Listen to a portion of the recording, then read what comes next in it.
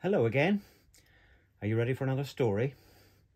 I'm a little bit out of practice, but let's see how we get on. Today, I want to read the story of Grandpa's Face, which is by Eloise Greenfield and illustrated by Floyd Cooper.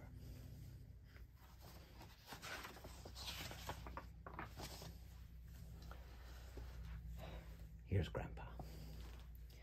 Tamika loved her grandpa. She loved the quiet way he talked and the surprise of his loud laughter.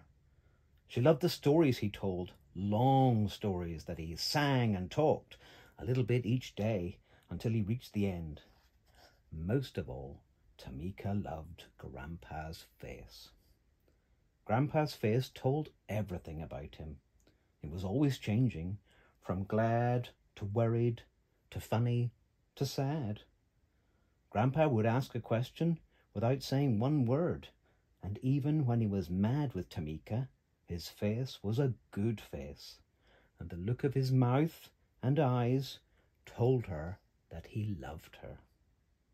You shouldn't have done that, Tamika, Grandpa would say, and Tamika would tell him that she was sorry, and then she would kiss the sturdy brown of his face.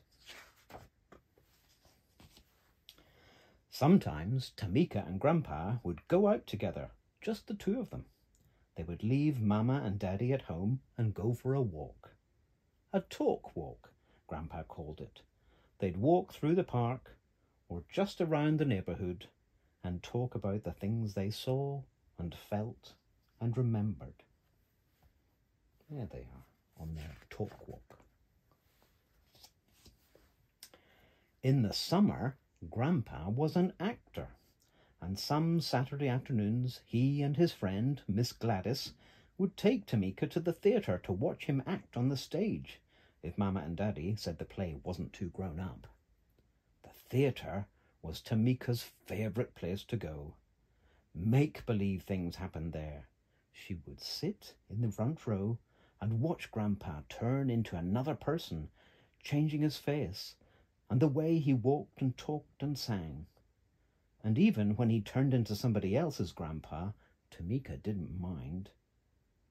It looked true, and it felt true, but she knew it was just a play.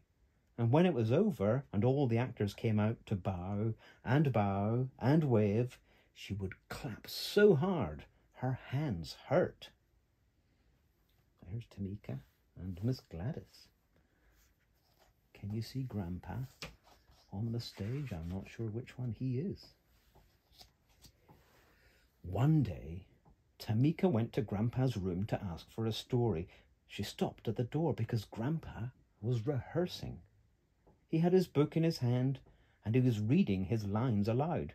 And then he stopped reading and looked in the mirror, slowly changing his face into a face that Tamika had never seen before. It was a hard face. It had a tight mouth and cold, cold eyes. It was a face that could never love her or anyone. She doesn't like it, does she? Tamika stood watching as Grandpa changed his face back and read some more lines from his book. And then she went to her room and sat on the bed. Her stomach was filled with scared places that made her want to cry. She had not known that Grandpa could look like that. And now that she did know, she couldn't be sure that he might not some day look at her with that face, that face that could not love. She's sad, isn't she? Poor Tamika. She got out her jigsaw puzzle and played with it quietly until Mamma and Daddy had finished cooking. I had finished cooking dinner. And then she washed her hands and sat down at the table, but she didn't feel like eating. She felt like doing bad things, all the things that Grandpa didn't like. So she made a hill out of her mashed potatoes and let her green peas roll down the hill. Stop playing with your food, Tamika, Mamma said, and eat your dinner. Tamika looked at Grandpa's face, and it was still the face she knew. So she put a forkful of greens in her glass and watched her water turn a muddy green. And then she tapped on her plate with her spoon while the grown-ups were trying to talk. I think you want to leave the table, Daddy said. No, Daddy, Tamika whined. I think you'd better, Tamika, Daddy said. Go to your room now, and you can eat by yourself later.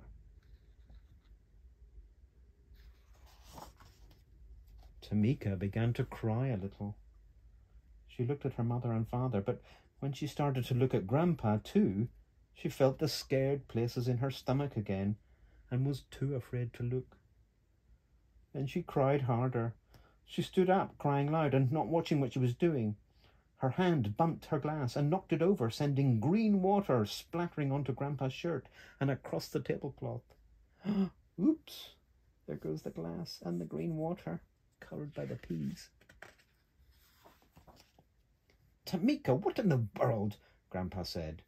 Tamika turned and looked at him then, expecting to see the face she had seen in the mirror. But it was Grandpa's face she saw. Grandpa's mad face, but still it was the one that loved her. Mamma and Daddy looked worried. Tamika, Mamma said, what's this all about? Tamika hung her head and didn't answer. Stop crying now, Daddy said.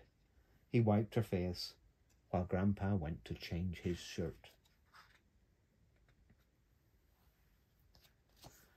Then Grandpa came back and took her by the hand. Let's go, he said. Time for a talk walk. Tamika and Grandpa walked towards the park, holding hands. She still looks a bit sad, doesn't she? Now tell me what's wrong, Grandpa said. Tamika's hand felt good inside Grandpa's, but she wasn't sure she felt like talking. She watched the lines in the sidewalk for a little while. Then she said, You have another face, Grandpa. I do, Grandpa said. Uh-huh. I saw it in the mirror, Tamika said. And it was a real mean face, too. They sat down on the grass, and Tamika let the words spill out. The mouth is mean, and the eyes are mean, and I don't like that face, Grandpa, she said. But that's just pretending, Tamika, Grandpa said. You know that. But it might not always be pretend, Tamika said. Grandpa thought for a moment. Oh, I see, he said. Then he put his hands around Tamika's face and made her look at him.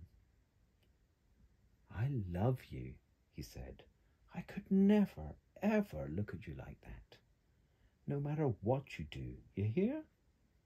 You sure? Tamika said. As sure as I am that you love me, Grandpa said. Tamika knew she was safe then, safe enough to hug Grandpa and kiss his sturdy brown face. Grandpa hugged her back. Let's go home now, he said.